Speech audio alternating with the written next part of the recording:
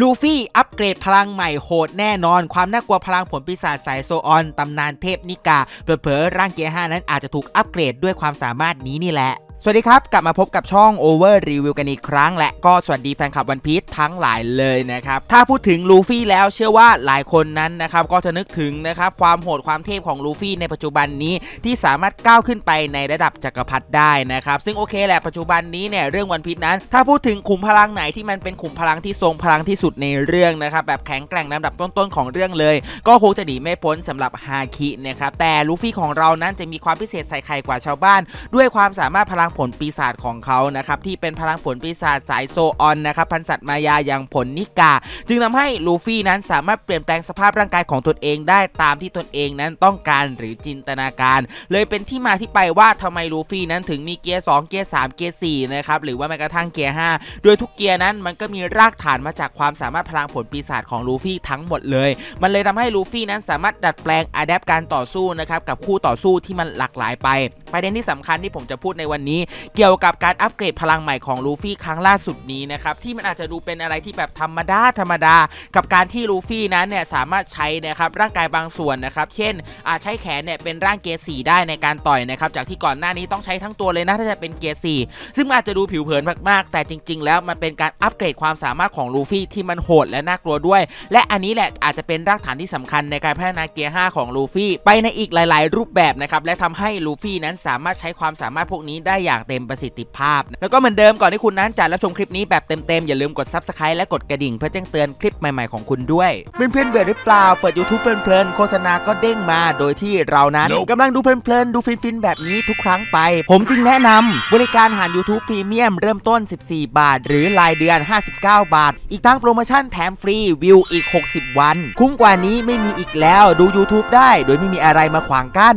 สนใจ add ไลน์ BerryPM ฐานลูกค้ากว่า 50,000คน จดทะเบียนบริษัทถูกต้องไม่ต้องเป็นกังวลใดทั้งสิ้น มีบริการแจ้งเตือนหากหมดอายุอัตโนมัติต่อราคาเดียวไม่มีบวกเพิ่มเป็นอันขาด หรือถ้าอยากดู Netflix นั้นก็สามารถติดต่อเจ้านี้ได้ด้วยเช่นกัน อย่าลืม add ไลน์มา b e r r y PM หรือสแกนหน้าจอนี้ได้เลย ก็อย่างที่ผมได้พูดไปข้างต้นเลยนะครับ ว่าสำหรับพลังของลูฟี่ในปัจจุบันนี้เนี่ยรากฐานนะครับมี 2 สิ่งแหละง่ายๆ พลังผลปีศาจแล้วก็ฮาคิของลูฟี่นะครับซึ่งเอาจริงๆแล้วหลายคนไปมุ่งเน้นเลยว่าเฮ้ยลูฟี่เก่งได้ในทุกวันนี้เป็นเพราะฮาคิแต่ผมนะเนี่ยชอบจะให้เครดิตนะครับเกี่ยวกับเรื่องความสามารถพลังผลปีศาจของลูฟี่มากกว่า คือผมเคยทำคลิปพูดไปแล้วไม่กี่วันมานี้แหละเกี่ยวกับประเด็นที่ว่าลูฟี่ชนะไคโดได้ก่อนหน้านี้เนี่ยมันไม่ใช่เพราะว่าฮาคิอย่างเดียวนะ เพราะในตอนนั้นตอนที่ลูฟี่ซัดฮาคิรัวๆนะครับปะทะกับไคโดเนี่ยมันก็ระดับเท่ากันเลยนะครับหรือว่าอาจจะด้อยกว่าเล็กๆน้อยๆเลยได้ซ้ำจนลูฟี่พัฒนาฮาคิตัวเองขึ้นมานะครับคือใช้ฮาคิราชันในการควบรวม แต่สิ่งที่ทำให้ลูฟี่นั้นสามารถชนะไคโด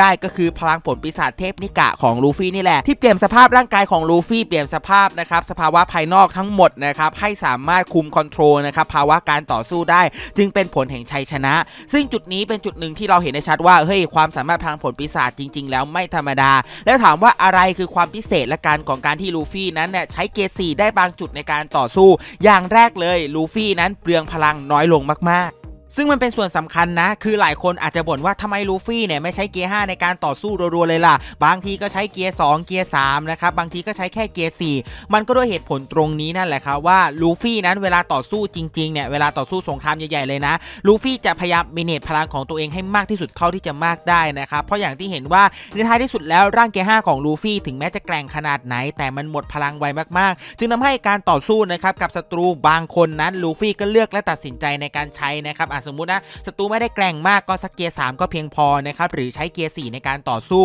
แต่แน่นอนว่านะครับหาก advance ความสามารถไปได้ เช่น ใช้เกียร์4ในการต่อสู้ในบางจุด อย่างที่เห็นใช้หมัดในการต่อยนะครับนั่นมันก็เปลืองพลังน้อยลง หรือบางช็อตนะครับอยากจะตั้งรับการโจมตีก็คือเกียร์4มันจะมีร่าง Tankman ในการตั้งรับการโจมตีใช่ไหมก็สามารถใช้นะครับแค่บริเวณส่วนตัวเท่านั้นในการตั้งรับได้ หรือนะครับต้องการใช้ฮาคิสังเกตในการมองเห็นอนาคตในการโจมตีไวๆและไม่ต้องการใช้ถึงเกียร์5นะครับก็ใช้ Snakeman โดยใช้แค่แขนนะครับในการเลี้ยงเป็นงูในการโจมตีเท่านั้นก็เพียงพอนะครับนี่แหละมันเป็นความสามารถอย่างหนึ่งที่อาจจะดูไม่ค่อยมีประโยชน์นะ feel แบบว่าทำไมไม่ใช้ร่างเต็มๆแต่อันนี้แหละคือโคตรประโยชน์เลย และแน่นอนว่านะครับลูฟี่นั้นก็สามารถ adapt ในการใช้ในร่างเกียร์5ได้ คือบางทีแล้วลูฟี่ไม่จำเป็นนะครับต้องใช้ร่างเกียร์5แบบเต็มตัวเลยในการต่อสู้กับศัตรู คือบางจังหวะใช้แค่บางส่วนอย่างเงี้ยพัฒนาความสามารถตัวเองขึ้นไป และใช้บางส่วนในการโจมตี คือบางทีแล้วโอเค drop พลังลงมา แต่ใช้ได้เต็มประสิทธิภาพมากยิ่งขึ้น ใช้ได้นานมากยิ่งขึ้น จะเป็นผลดีมากกว่าในตัวลูฟี่ในการใช้ในการต่อสู้ในอนาคตนะครับเพราะว่าตอนเนี้ยหลักๆ เลยลูฟี่นั้นอย่าเพิ่งไปใฝ่หาหรอกครับว่าพลังที่ต้องเหนือกว่าร่างเกียร์5พลังที่แบบว่าต้องใช้ร่างเกียร์5ได้ full option แค่ใช้ได้เสถียรเนี่ยผมมองว่านะครับก็เป็นจุดหนึ่งที่ลูฟี่นั้นอยากจะพัฒนาและทำให้ได้เผลอๆในภาคเอลบาฟนี่แหละครับจะมีหนทางในการใช้ด้วยเช่นกัน เพราะอย่างที่เรารู้ว่าเอลบาฟนั้นเนี่ยมันมีเกี่ยวกับเทพนิกาอยู่ มันก็คงจะมีนะครับไขความลับ หรือบางสิ่งบางอย่างที่ทำให้ลูฟี่นั้นปลดล็อกนะครับพลังเกียร์ 5 ของตัวเองขึ้นมาให้ได้อย่างเต็มประสิทธิภาพมากที่สุดเท่าที่จะมากได้ หรือถ้าให้ผมนึกแบบสั้น ๆ ง่าย ๆ เลยนะครับว่าการที่ลูฟี่นั้นพัฒนาตนเองในการใช้นะครับความสามารถบางจุดในการอัปเกรดความสามารถเช่นสมมติเกียร์ 5 นั้นใช้แค่ครึ่งบนเท่านั้นก็คือใช้แค่แขนในการต่อสู้ มันก็อาจจะเพียงพอก็ได้นะครับหรืออาจจะเป็นการ adapt ในการใช้นะครับในรูปแบบใหม่ๆ จนก่อกำเนิดนะครับเหมือนที่เราเห็นก่อนหน้านี้เกียร์ 4 นั้นมันมีทั้ง Tankman Boundman นะครับหรือมันกระทั่ง Snakemanอาจจะมีเกียร์ 5 นะครับในรูปแบบที่แตกต่างออกไปนะครับซึ่งมันก็ไม่ได้ดูเป็นอะไรที่มันเก่านะ เพราะว่ามันเป็นสิ่งที่ลูฟี่เคยทำได้และนะครับมันไม่ใช่เรื่องแปลกเลยด้วยซ้ำที่ลูฟี่จะทำต่อ เพราะผมนั้นค่อนข้างมั่นใจเลยว่านะครับลูฟี่เนี่ยเดี๋ยวมันจะต้องมีแน่นอนร่างเกียร์6ของตนเองในอนาคต แต่ไม่ใช่เร็ววันนี้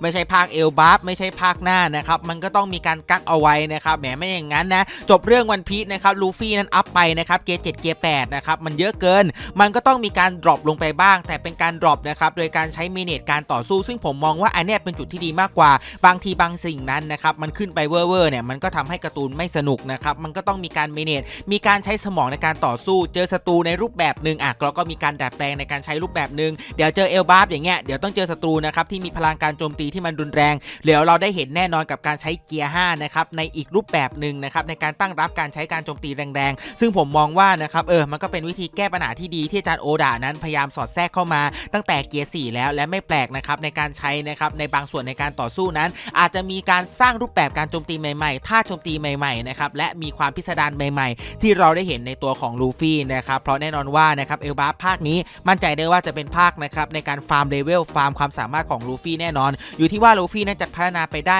ในระดับไหนนะครับในท้ายที่สุดแล้ว การต่อสู้มันเป็นการต่อสู้ระยะยาวอย่างที่ผมพูด ยิ่งสงครามการต่อสู้นะครับไม่ว่าจะเป็นการแย่งชิงสมบัติล้ำค่าอย่างวันพีชกว่าจะไปคว้าได้นั้นโอ้โหมันเป็นการต่อสู้ที่ยาวนานถ้าหากมินิพลังไม่ดีเลยก็มันก็จะเหมือนประวัติศาสตร์ซ้ำรอยของลูฟี่ที่จะหมดแรงในการต่อสู้ มันใช่ว่าโชคดีทุกครั้ง ที่คุณนั้นจะรอดในการต่อสู้ได้ หรือนะครับในการต่อสู้กับท่านอิมในอนาคต มันก็ต้องมีการเมเนจพลังนะครับก่อนที่จะเจอท่านอิมมันก็ต้องเจอห้าหูเทาก่อน เจอจอมพลเรือก่อน พอไปเจอท่านอินปั๊บเล่นนะครับใช้เกียร์5ตลอดตั้งแต่แรกลากยาวไปเจออิม หมดแรงในการต่อสู้แน่นอนนะครับจุดนี้แหละเป็นจุดที่น่าสนใจมากๆ เลยกับการที่ลูฟี่นั้นอัปเกรดความสามารถตัวเองขึ้นมาใหม่นะครับอาจจะเป็นในรูปแบบที่ไม่ได้ต่างจากเดิมแต่ผมมองว่ามันเป็นการอัปเกรดจริง ๆ เลยนะ อย่างน้อยๆเราได้เห็นลูฟี่นะครับในเวอร์ชั่นที่ดีขึ้นไปกว่าที่เราเคยเห็นก่อนหน้านี้นะครับและทุกคนคิดอย่างนั้นบ้าง คิดว่าลูฟี่การอัปเกรดครั้งนี้เนี่ยมันสำคัญจริง ๆ หรือเปล่า หรือก็แค่ก็เป็นรูปลักษณ์หนึ่งละกัน ไม่ได้สำคัญอะไรขนาดนั้นนะครับเป็นการ drop พลังมาที่ค่อนข้างไร้ค่าไร้ประโยชน์อะก็ลองคอมเมนต์มาได้เลย